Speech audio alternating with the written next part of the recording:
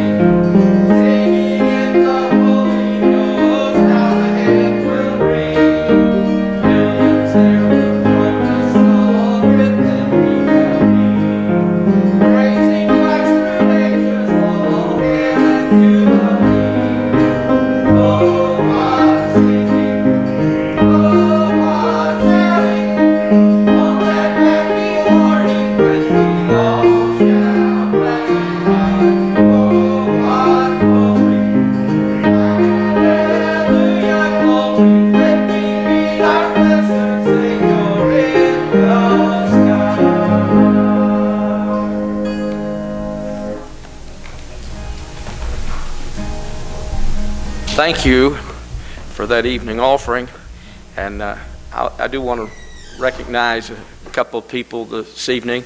We're glad to have uh, Judy Hagan with us and, and her son uh, Ryan, Paul Ryan. And of course, I, I thought that, uh, of course, we haven't said anything this week, but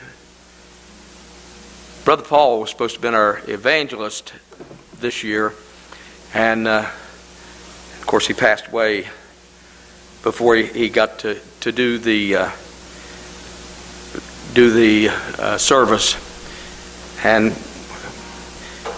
we've tried to tell the family how uh, how much we uh, we're sorry, and it- there's not a lot that you can say, but we love all of you, and we're glad you're here tonight. I hope that you, you just enjoy the blessings of God. I, I know that uh, uh, this be the last night of revival meeting. If you've got anything that needs to be taken care of, tonight would be a good night, night to get it taken care of. I know uh, Brother Danny's going to preach to us, so let's just let go tonight. Let God have His way as Abounding Grace comes to sing for us.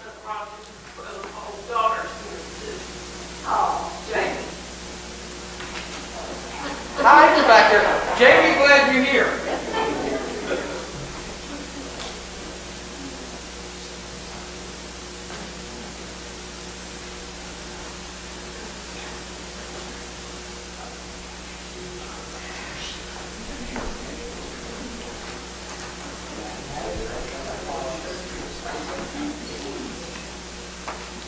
Hold on a sec.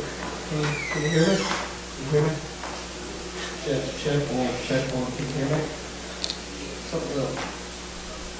Check, check. Check, is that, is that speaker on I don't think it's coming out of the, those. this on the monitors? I don't, I don't understand.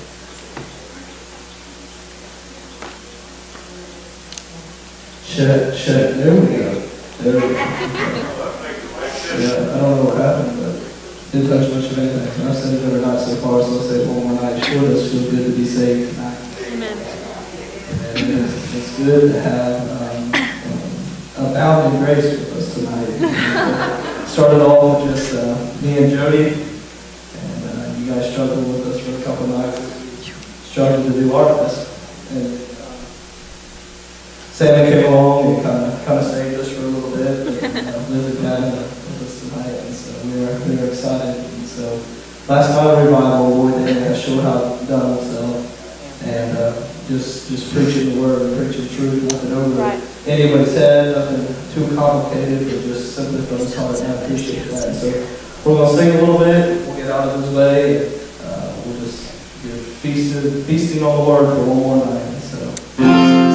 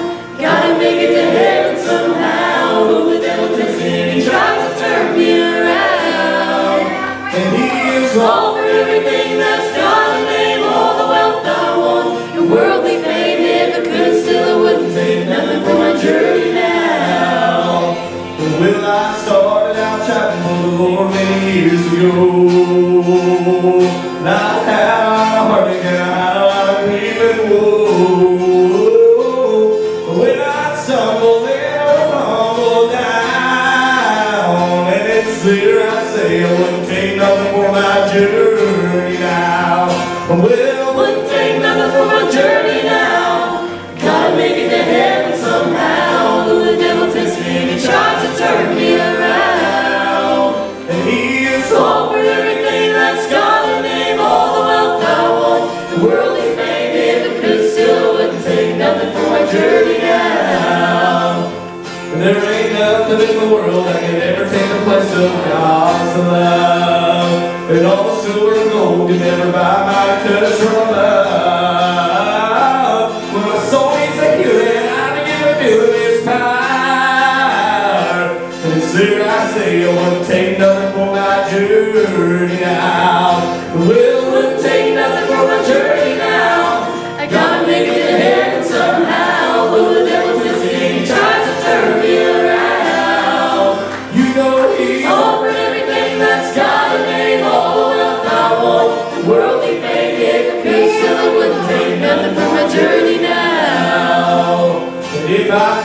still wouldn't take nothing. Maybe if I could, still wouldn't take nothing. Maybe if I could, still wouldn't take nothing. Maybe if I could, still wouldn't take nothing for my church.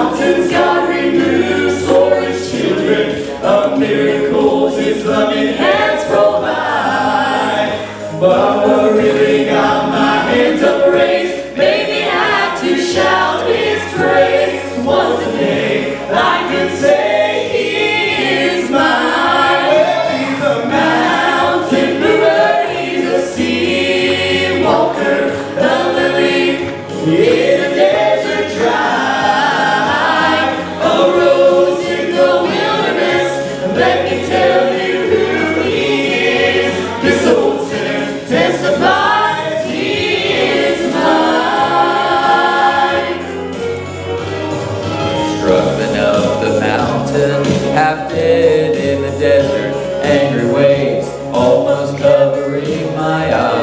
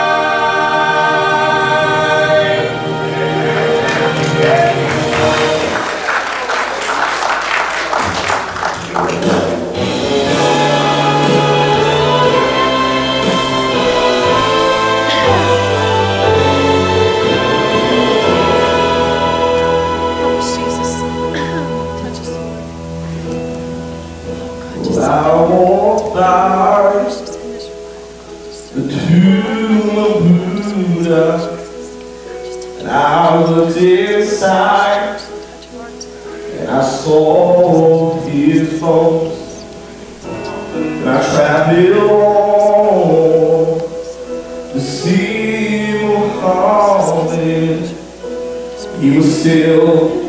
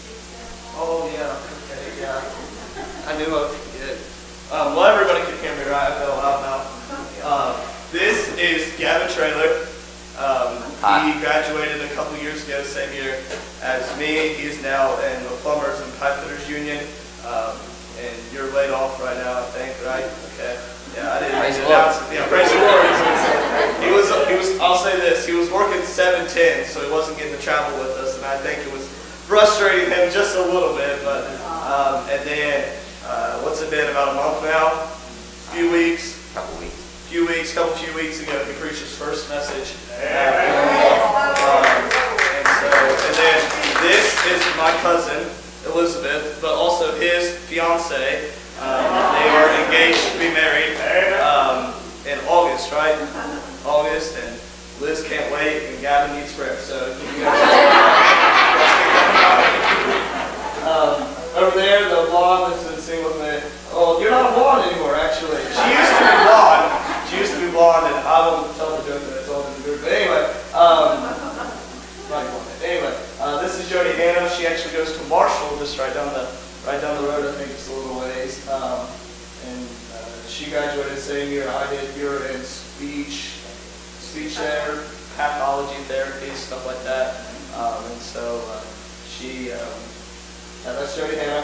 Uh, in the yellow tie, we got to join this on Wednesday night, is Sam Wheely. Uh, a couple months ago, uh, at the beginning of February, right? Uh, he preached his first message. Um, so he's preaching a little bit. He's still a senior in high school, getting ready to graduate. Uh, has plans right now to attend Marshall University mechanical, mechanical engineering. Um, as if the Lord doesn't intervene and send them somewhere else beforehand. But um, and then I'm Marcus, and I don't want to say much about me, but that's you guys tell me. But I'm Marcus. And, no, I'll just say I'm Marcus, and so I'll, I won't take too much time. So, but, yeah. Good job, now. Yeah, good job. Yeah.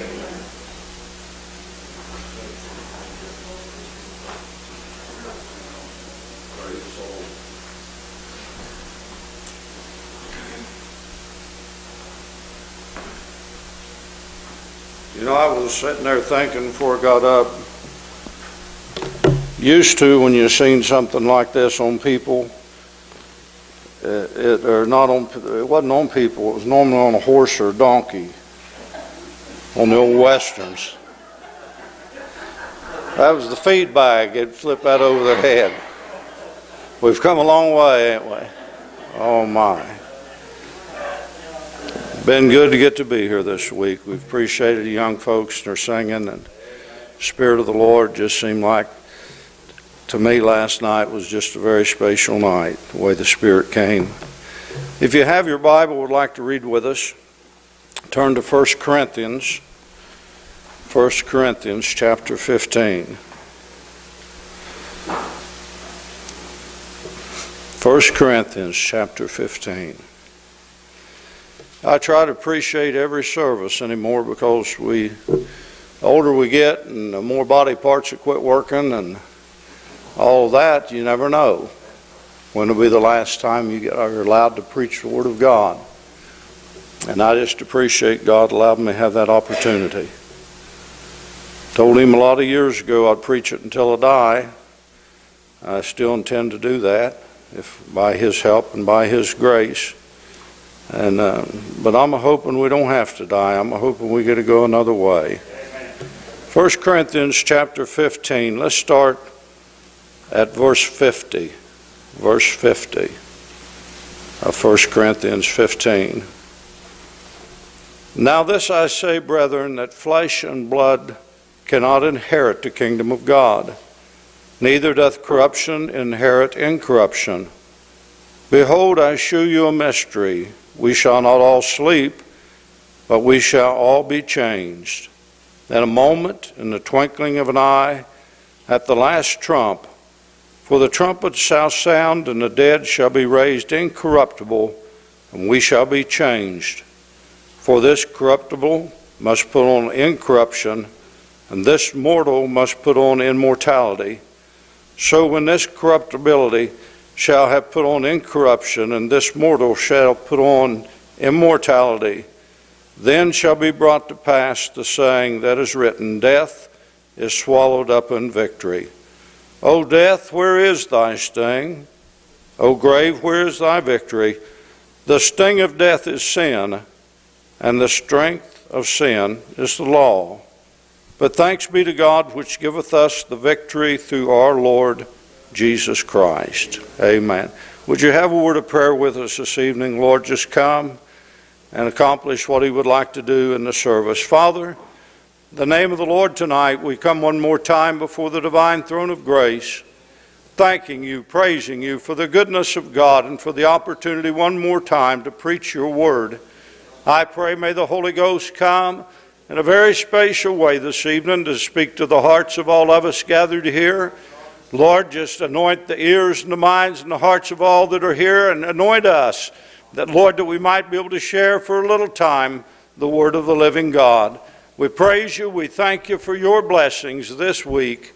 And Lord, we expect it again tonight in Jesus' name. Amen. And amen. I believe as we look at the Word of God tonight, and Paul was speaking about what probably is going to be the next prophetic event on the calendar of prophecy, that's the rapture of the church. We're very wicked, uh, rapidly getting to that place. You can look around, and it just seems like everything is heading up toward it. Before that rapture takes place, or after the raptures take place, I should say, more than likely, there's going to be a, a one world government that's going to step on the scene. And, and I really believe that a lot of the confusion that's taken place within our political system here in America has been brought about just for that purpose to put the people in place that will willingly do that. We've seen down throughout the years that, that uh, most of the presidents have had an idea that there needed to be a one world system or a one world government. And, and what we have in there right now would, I believe, cooperate completely with that desire that the rest of the world seems to have. We're going to have a United Nation military that's kind of going to rule out. If they've got a problem with us here, they'll not send our military so much to fight us, but they'll send the United Nations military in to take over that nation. Whenever the rapture takes place, we're going to have an Antichrist that's going to step forth, a man of great persuasion that's going to be able to speak and persuade others uh, to his way of thinking. Uh, we're just coming down to a place in the day in the time when we're in uh, that this and many other things are about to happen. Uh, but before that can happen, I believe for the most part, there's going to have to be that rapture of the church of the living God. Now, I don't know about you, but I want to go in it. I really do. It doesn't matter whether you die or you're raptured, you end up in the same place. But I've, I've just always, since I was a kid, once in a while, have one of those dreams about flying through the air without an airplane. Now, and folks, that's going to be the ultimate flight whenever the rapture takes place and the church is caught up and we go to be forever with the Lord. I want to look tonight just at a very few things and, and then we'll get out of here and I'll go home. Just uh, first of all, who won't make the rapture? Who won't make the rapture? With all the religions, with all the denominations, with all the belief system in this world today, it's very hard to pinpoint. Uh, and when you do begin to pinpoint who won't go in the rapture, folks really begin to get mad. One of the reasons Christianity is hated so much around the world. The Muslim religion is not really a hated religion. A matter of fact, it's not really a religion, it's a political system more than it is a religion. Hinduism is not hated eh, around the world. Buddhism is not hated around the world. But when you look at Christianity, it's a, a, a religion or a means uh, of salvation that's completely hated uh, by the rest of the world. And just for this one fact, it's all inclusive uh, in the person of the Lord Jesus Christ. Uh, He said when He came, uh, I am the way. He never said, I come to show you the way. He said that I'm the one that can save you, I'm the one that can set you free. It comes in no other means and no other way, and the world doesn't want to hear that. They want an all inclusive salvation that involves everybody from here and there and yonder and every religion that we have. Even one of the, uh, of the movie stars of our day, as she took it upon herself to say, Well, there's more than one way to heaven. The Christians think that's the only way to get there, but there's many ways to heaven. And I just wonder how she knows since she hadn't died yet. And I think that once she does die, she's going to get a great big surprise uh, and find out that all those ways, uh, the giving of millions of dollars to good causes, uh, the trying to do this and do that, is not going to provide a way. Who's not going to go in the rapture tonight are those that have not been born again of the Spirit of the living God. It's absolutely necessary tonight to go to heaven to be born again when Nicodemus came unto Jesus and began to question him about the means of salvation, he said, Verily, verily, except a man be born again of the Spirit, he cannot see that kingdom of God.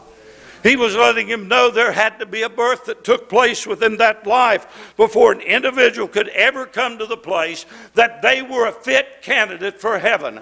And if you're here tonight and you've never experienced uh, being born again, and I know when you talk about experience uh, in the church world, it just seems like denominations want to get away from experimental religion or salvation, but you can't do it. Uh, amen. There's got to be that experience uh, where you have brought yourself in repentance uh, unto the Lord Jesus Christ, uh, have turned away from your sin, uh, have called upon Him uh, and asked Him to come into your life. Uh, None of us in this place can explain uh, how it happens, uh, but if we do what God says to do, uh, there'll be a miracle that'll take place uh, deep down inside of us uh, that'll break us a brand new creature in the Lord Jesus Christ.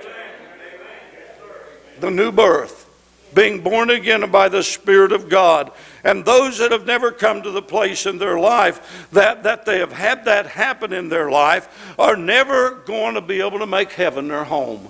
Whether rapture comes or whether death comes, they're going to miss out because they haven't had a born again experience within their life. And I really believe a lot of folks are going to miss out on the rapture that have just gotten so accustomed to walking and serving God that, that it's become more just of a custom to them than it has an everyday relationship with the risen Savior. There, there's those that are going to hear the sound when it takes place. It said the trump will sound. I don't know, it might be President Trump, I don't know. But the trump's going to sound and a shout's going to be given uh, and the rapture is going to take place. Uh, but there's a lot of people uh, that go to church every Sunday that just seem to have absolutely no spiritual hearing uh, whatsoever. And if God would blow that trump, I wonder uh, if they'll ever even be able to hear it. Now, I've, I've got my hearing is pretty bad. To be very honest with you, the masks don't help a bit when somebody's talking to me. I, when I was pastoring, it was difficult for me to lead a service because when we went to taking prayer requests, I didn't have good direction from where the sound was coming from. So I never did like to, to lead a service and try to pick out who was asking a prayer request just because of my hearing. It came about that way by years and years of jackhammers and Detroit engines a roaring and being around the heavy equipment and all that I'd been around. Uh, and back in those days, you were sissy. Uh, if you even put the cotton in your ears that they had, that was the only ear protection years ago that we had on the job. So, so I don't have very good hearing. And there's a lot of folks today that don't have very good hearing spiritually uh, because things have come in their life uh, and it's dulled their senses to the voice uh, of the Holy Spirit. And He's no longer really able to speak to them the way that He wants to. There was an old story that came out of Russia back in the 20s and 30s. And it said during that time in Russia, the greatest way of communication was the telegraph. And the political party that ruled the nation needed a young man that was very, very skilled in the Morse code. So they, they brought in seven young men after they'd went through a whole group. They brought them into a nice room and they set them down with music playing in the background.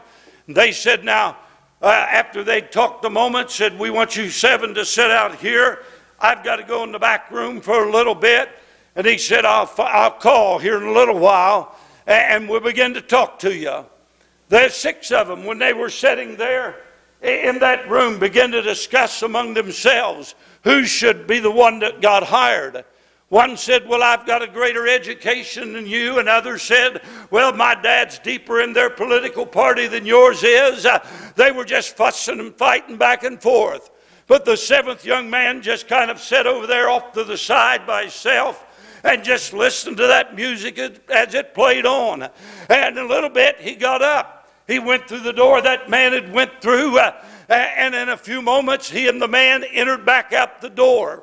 That man that was doing the hiring said, Well, fellas, we appreciate you coming, uh, but you can all go home now. We've picked the man that we're going to have for this position. They began to argue. They said, Why in the world? You said you would come out and talk to us. He said, I have been talking to you. He said, I've been tapping out over Morse code uh, that's come across that music playing in the background. Uh, that if you hear this, come in, you've got the job. And he said, Six of you were out here uh, fighting and debating and arguing with one another. But he said, One of you heard it uh, and he came out, and that's the one. Folks, the church today can get so busy and bickering and quarreling uh, and debating about things that amount to holding. Uh, uh, nothing at all, and we'll miss the voice of God if we're not very careful in our life. If you can't hear Him now, I don't imagine you'll hear Him then. It just is something that we need to do with our life is try to do the very best we can to remain sensitive. And then also, thirdly, tonight, those that are just too busy with the blessings of the time are going to miss it. You know, we're living in a day when the blessings are poured out in a material way like they never have been before. I've went from the place, and I hear a lot of folks say it, and I, uh, they say, "Boy, I sure would like that old time religion again. Go back to the olden days in the church." And, and I can agree with them if I know exactly what they're talking about. But I, I remember what it was to have an old wood stove in the house. And that's the way you heated it. And I can remember what it was to just open up the windows in the summertime and open up that old wood screen door. If you was lucky to have one fan you'd put in and a door or window, try to draw a little air out of the house. Uh, I can remember dragging an old blanket or something out on the porch uh, on an August summer night when it was so hot inside uh, that you couldn't sleep and just sleep outside, even on the ground sometime to try to get a little cool. I don't like those good old days. Uh, Amen. I like the days when you've got a, a little knob on the wall and you turn it uh, and the heat comes on. Uh, and in the summer you turn it uh, and the air comes on. Uh, I like the cars you get into that'll start, uh, amen, without having to be pushed. Uh, I, I just like some of the things that we've got today. But when it comes to old time Holy Ghost religion, folks, that's exactly what I want. That, that, that doesn't depend on what you've got in the manner of things in this world. Probably some of the most spiritual people I've ever seen in my life didn't have hardly anything. But they'd learned to depend upon God and they'd seen the blessings of the Lord that had flowed. A man preached one time upon Lot and his wife, whom he called Lottie. He said that Lot and Lottie said, you know, they stayed fairly close to God as long as they were with Abraham. But then, whenever Lot began to lift up his eyes and he looked down towards Sodom and Gomorrah and he began to take his flocks that direction, it's not long that they got in trouble. God had heard that Sodom and Gomorrah was so terrible that he was going to come and destroy it. But because of Abraham, he said that I'll, uh, if I can just find that 10 righteous people there, I'll forgive it. When he got down there, no doubt Abraham thought Lot had been on the job, but he hadn't. And when he came, there weren't enough to, to spare the city. So the angels told Lot, said, You gather up everything you've got that belongs to you in the way of people, uh, and you get ready. You've got to get out of this place. Uh, they took them out the next day before that city was going to be destroyed. And somewhere along the way, they were warned not to look back. But Lottie looked back behind her. And when she did, the Word of God said she became a, pillar of salt. You say you believe that, preacher? hey, man, I'd believe it if they said she became a vanilla ice cream cone. It wouldn't make any difference. It's the Word of God. And he, this man that I heard preach this said, You know what got Lottie? He said, All of her life she'd lived out of a tent. It seemed like every morning they were taking the tent down and they were moving to the next territory, put the tent back up, and then Abraham would build a new altar and they'd have prayer meeting around it. But when they got separated and she got down there into Sodom, all of a sudden there was a different life. She's got a house that she can live in now. She can send her kids off to school. She can join the PTA. They can go to every sport event they had. They had everything they possibly needed. And when she had to leave that place, she just couldn't keep from looking back to see what was back behind her. And folks, I tell you, we don't I'm glad for the blessings God gives us, but we best not get attached to the things of this world because they're all going to stay behind when we leave this world. Taking nothing with us. I told you a little bit about Gary Bethel the other night, the fellow that had died seven times, four times lost and three times saved. And he said that sixth time when I died, and those two angels took me through the roof of that hospital in Columbus, Ohio. And he said, We were going so fast, and he said, I never looked back. He said, I didn't want to go back. And that should be the desire within our hearts from the very moment that we get saved. That we don't want to go back. We don't want to look back to what God brought us out of. But we want to just point our eyes towards home uh, and just trust and believe uh, that God's going to take us through. Uh, and thank God there's a better home on the other side. Uh, the rapture's getting ready to take place. Uh, it's time one man said, I'm packing up. No, we need to unpack. Uh, amen. Just throw everything out that doesn't belong to God, anything that will hinder us in walking with Him, and just go for God in our day. Just living for Him. Praise the Lord. Just doing the best we can every day for Jesus. We're too, too bad about getting caught up in things that really don't have much of a matter to us in this world.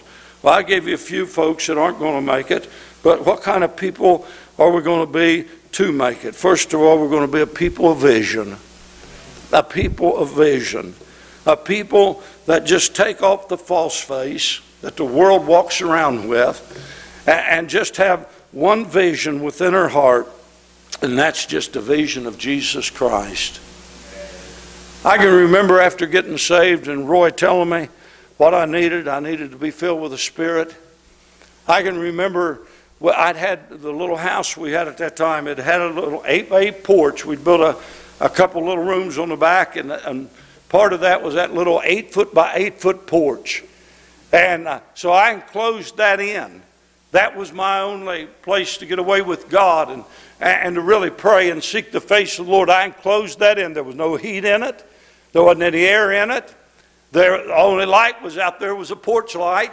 You'd flip that on, but somewhere I got a hold of an old chair and put out there.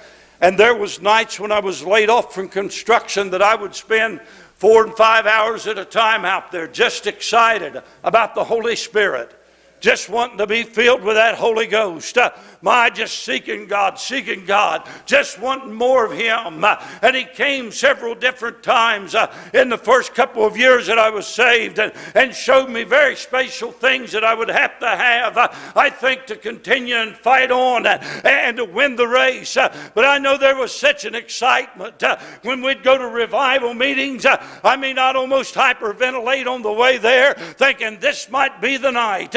Amen. I don't know exactly what I'm after, but I know uh, everybody says it's real. Uh, and if God's got it, I want it. Uh, not just be about to a place of hyperventilating, just seeking after more and more and more of God into my life. And I think I told you last night, folks, we the the terrible thing. Listen to me. It's not terrible to have a church doctrine. But it's a terrible thing to stop at your church doctrine. It's terrible for a church that says it's one work of grace and you get one work of grace and say, Well, I've got her all.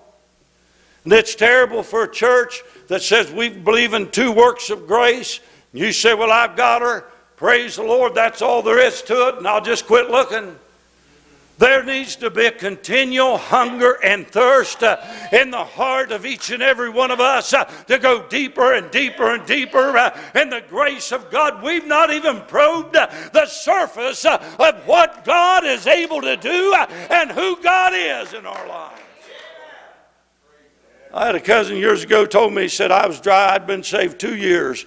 He said, I was driving out Route 73, had my Bible laying there beside me on the the seat and he said, I, was really getting cocky. He said, God, I kind of got you figured out. He said, I know how you're going to work when certain problems come up. He said, I was feeling real good, but he said, all of a sudden, he said that Bible started blowing open. It landed uh, on the Genesis 1 1. And he said, God spoke to him. He said, You need to start over, son. He didn't know all he knew about God. No, I tell you, there's a depth to him. A, people of vision that'll just keep seeking him uh, and believing more and asking more uh, and wanting more of this living God uh, until you just flow over with the presence of the Lord. Just because old time revival's not in the land don't mean you can't have old time Holy Ghost salvation. That's seeking him and, and after him daily within your life. You know, I remember preaching revival, a church called Plug Run. Me and uh, fellows, now my ex brother in law, but we were preaching that together. And he was going to Bible college at the time. And I just started preaching, and, and uh, it had been my night. I preached that night. It was a little church, only had about eight or ten people in it. They just reopened it, trying to get it going. And it's about 45 miles from where we live, but we, we was going up there every night. He had to, uh, that night there was seven or eight unsaved people came to that service. And I got in there, they had a woman pastor. And she said, Danny said, you got unsaved here tonight to preach to. I said, well, I, I ain't got a clue how you preach to unsaved people. I'd been raised under Roy Willis. Roy never preached unsaved, he preached church. And uh, she said, Well, you may not, but you're going to preach to them tonight. Well, I preached that night, and, and over about a two hour period of time, maybe one or two come, and we'd pray 15, 20 minutes, get them through.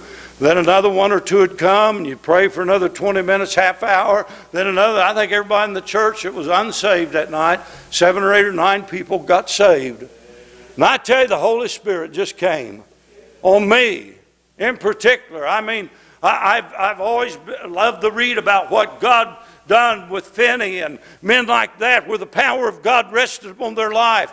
But we had to go back to Circleville that night to get some clothes from my brother in law. They were staying with us. And we got in that car, and I tell you, I got teetotally inebriated, Holy Ghost drunk on the Spirit. First time I ever had it.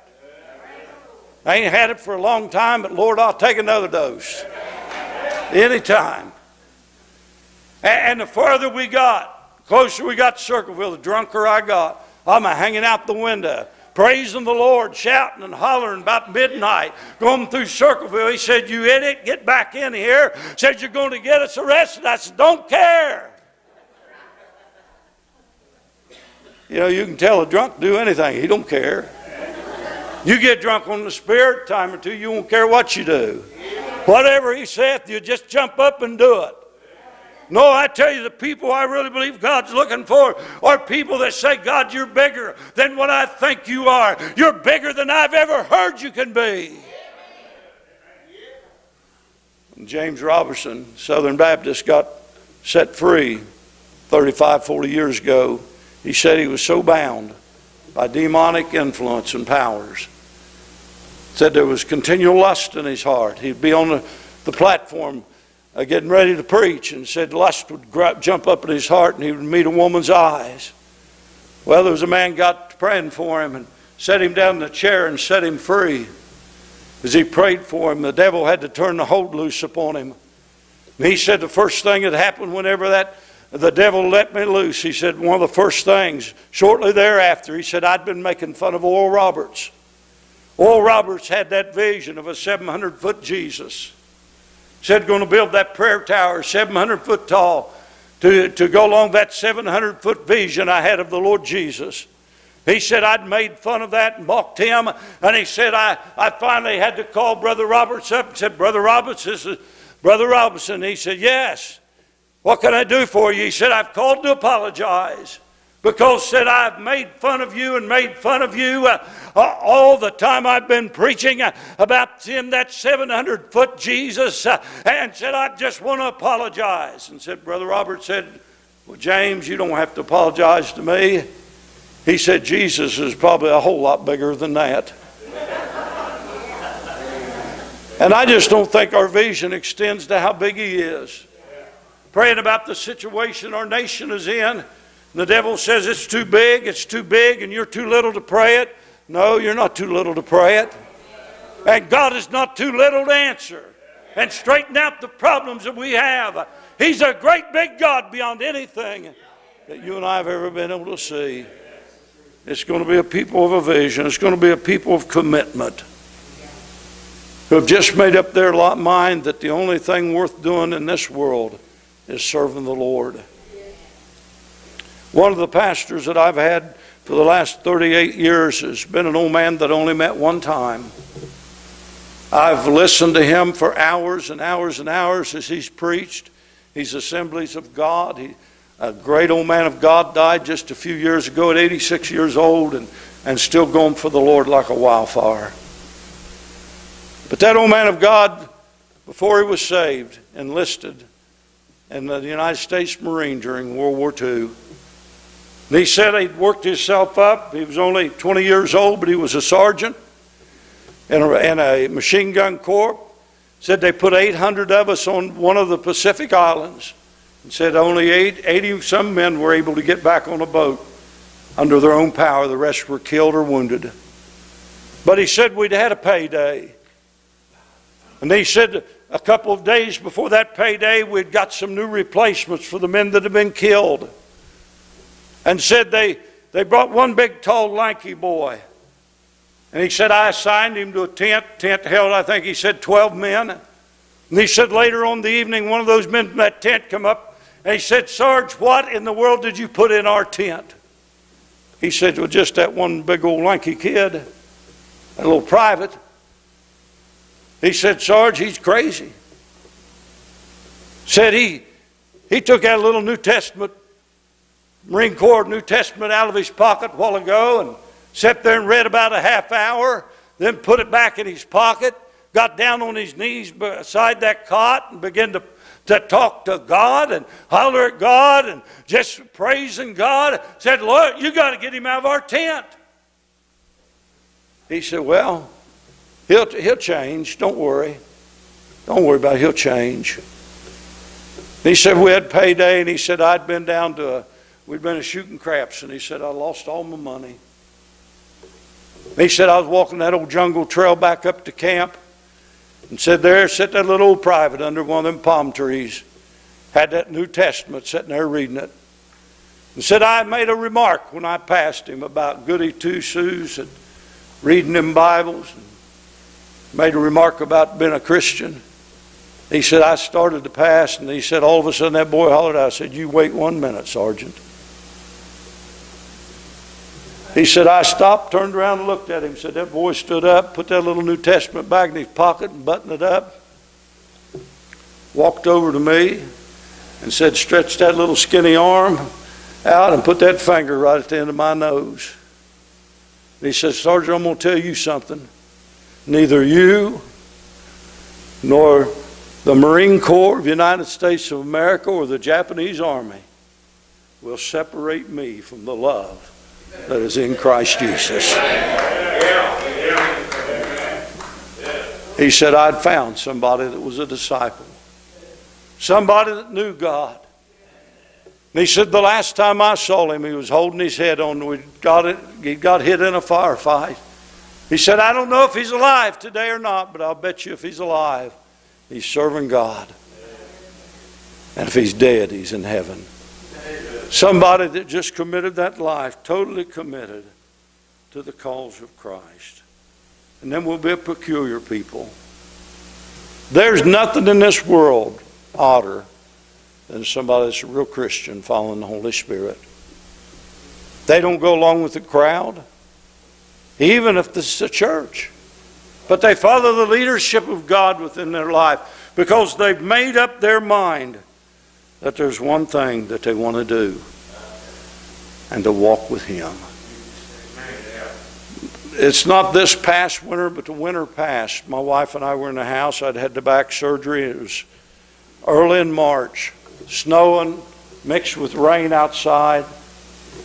And Debbie said, You know, I think I seen an eagle go past. I said, Nah, we'd, we'd had a couple flocks of turkeys are walking around the house all the time. You know how smart them things are? They always leave two weeks before turkey season. But they, they were walking around. I said, You probably seen a turkey fight. Said, no, she said it was an eagle. Had to be.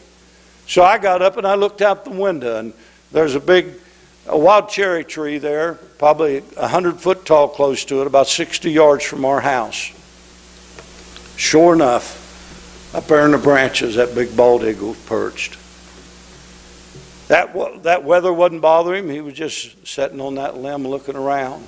Across the road, about 150 yards behind the neighbor's house, there was a dozen crows in a tree.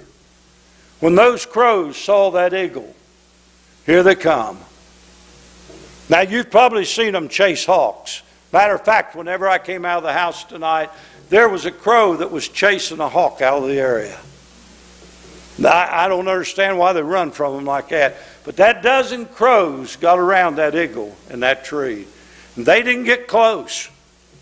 They stayed 15 foot away from him, it looked like the closest, all around him. But boy, they just screaming and hollering and a, and a cawing and cooing. They was telling that eagle, you need to get out of here or we're going to give you a thump. And that, and that old eagle just sat there. Never even, he never even looked at them.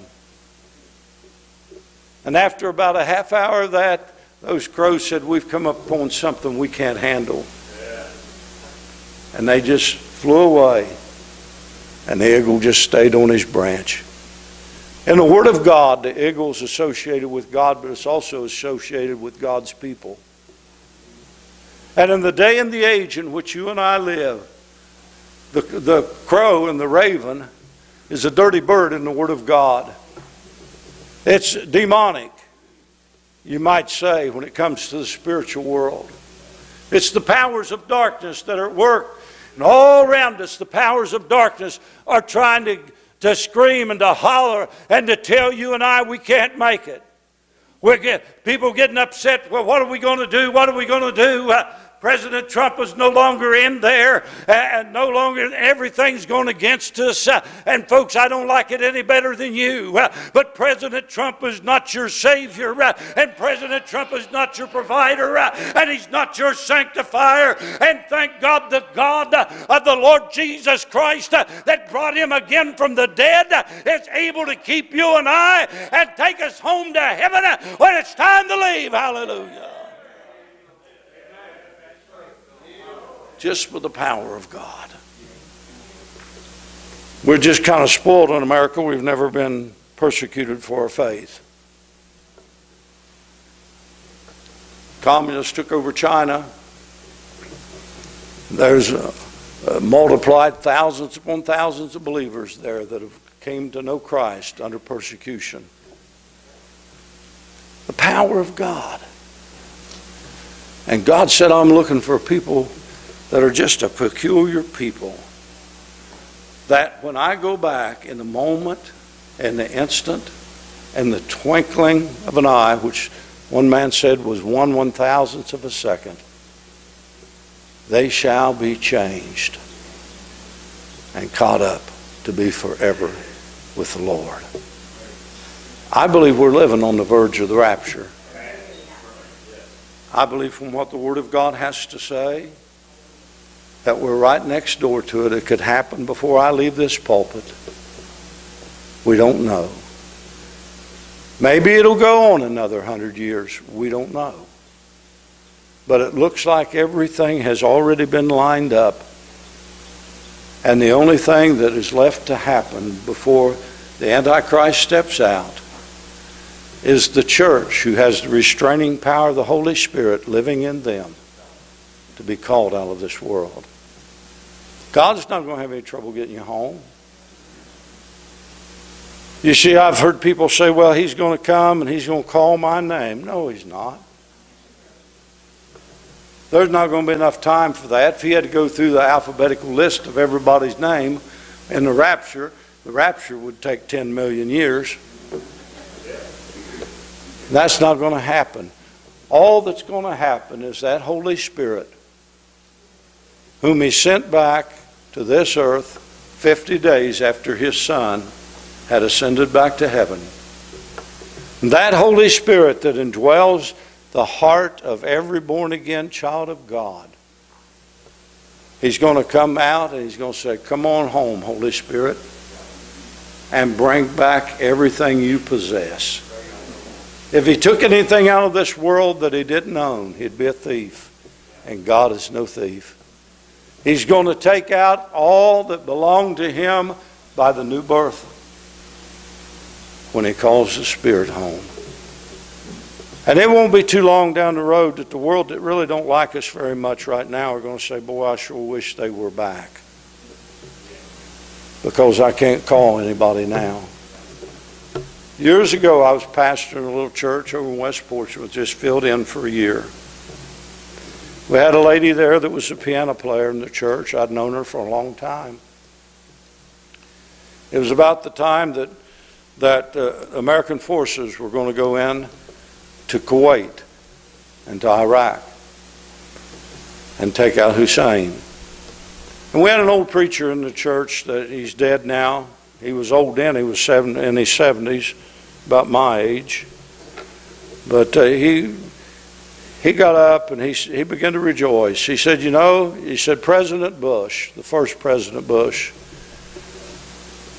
said that after midnight tonight, if Hussein doesn't line up what we tell him to do, at whatever time we choose, we're coming and we're going to take him out. And he said, You know, the Lord said at the midnight hour, He'll be back. And he said, Wouldn't it be something if Jesus came tonight in the rapture? He got to rejoicing, and the church got to rejoicing, and, and that lady,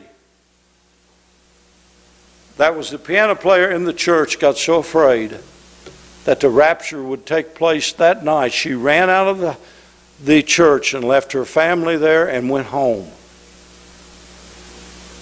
because she'd been living an old profession that had lost its life, that had lost its thrill.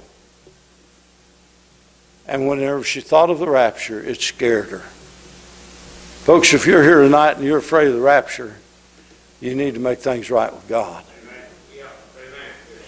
Because God is going to come just as sure as you're sitting here after his church. And I do not believe it's going to be very long. Are you ready? Should the rapture happen tonight? God's looking for a people that'll love Him no matter what's going on in this world with all their heart. Kids, if you would. I tell you, I can't help calling them kids. My kids are older than them.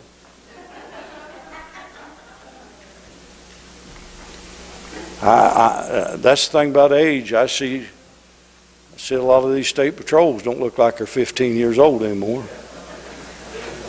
But you know, it doesn't matter how old you are, how young you are, you can serve God. If you're here tonight and you need to talk to the Lord or you need to bring any burden to God, will you do that this evening? If you're able tonight, stand with us a moment as they sing, and you just mind the Lord.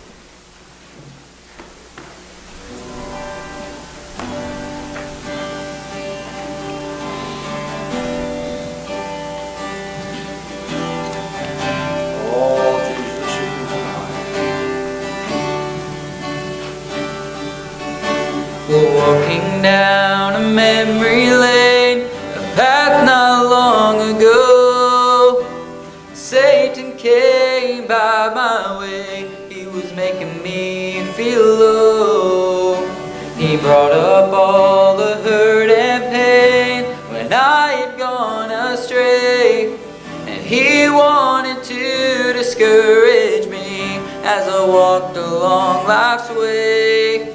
And he said, You're undeserving, cause I know where you've been. And I have a record of your life when you were bound by sin.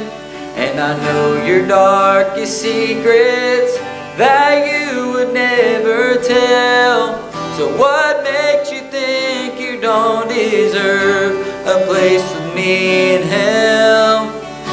I heard the old accuser, but this was my reply. Well, you're right for all those things I've done. I sure deserve to die. Cause my righteousness is filthy rags, my goodness is unclean. But there's only one thing I can say to what you said to me. It's under the blood. Oh, praise His dear name. I'm not what I used to be. My life has been changed. Not shackled by sin and shame. It's already gone. I'm happy it's under the blood.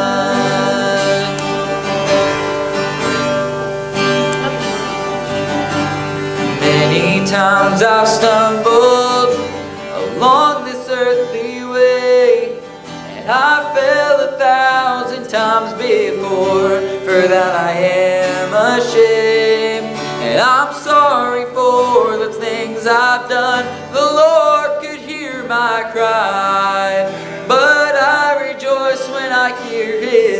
voice, and this was His reply.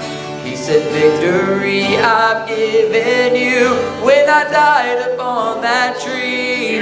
See, God gave His only begotten Son to die for you and me. So, sinner friend, don't miss your chance. The Lord is passing by. Come find your peace and cry for help. Life. It's under the blood. Oh, praise His dear name. I'm not what I used to be. My life has been changed. Not shackled by sin and shame. It's already gone. And I'm happy reminding Him it's under the blood. And what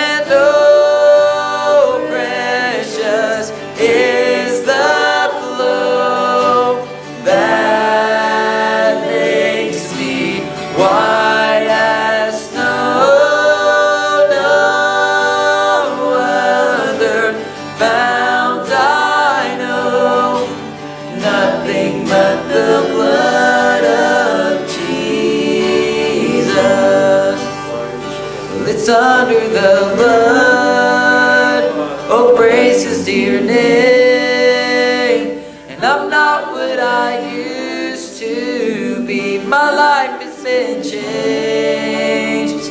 Not shackled by sin and shame. It's already gone. And I'm happy reminding Him it's under the blood. And I'm happy reminding Him it's under the blood.